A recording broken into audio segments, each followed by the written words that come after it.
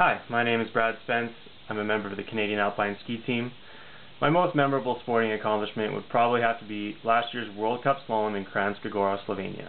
It was my first ever World Cup slalom and I finished 13th. It was a huge eye-opening experience for me knowing that I can compete with some of the world's best and gave me a lot of inspiration and motivation leading up to the games in Vancouver Whistler in February. Without people like yourselves and the donation that the Canadian Athletes Now Fund brings in to amateur athletes, many of us would not be able to follow our dreams.